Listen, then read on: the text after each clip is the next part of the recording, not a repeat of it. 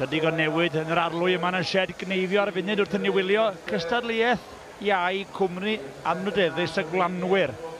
Cystadleuaeth ydy hon. Cneifio peder dafad. A dau Gymro, dau Wyddel, dau Sais a dau Albanwr yn ymladd am le yn y rownd derfynol nes ymlaen heddiw.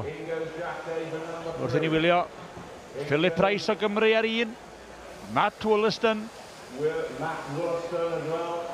o Loegr ar pedwar, William Wildman, Sais arall, ar pimp a Jack Day o Ogledd Iwerddon, ar chwech.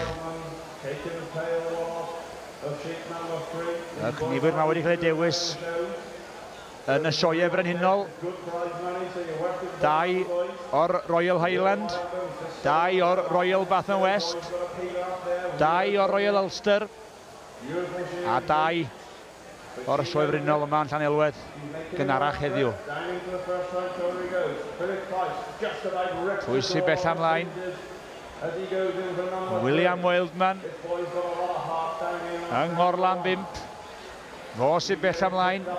Dipyn o newid o gnifio Wyn yn y gystadliaeth yma. Yn haws med yr rhai, anoddach meddai eraill.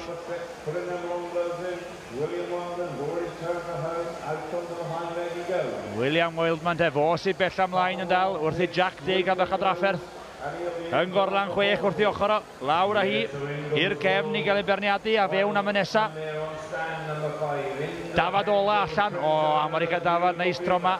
Dim byd ar ôl ar y bol i honna. Dipyn o fantes.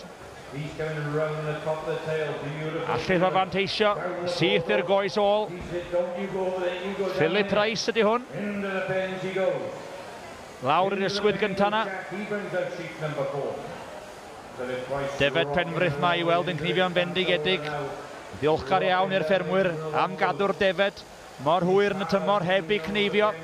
Mwyafrif o ddefed wedi cael ei cnifio eisoes.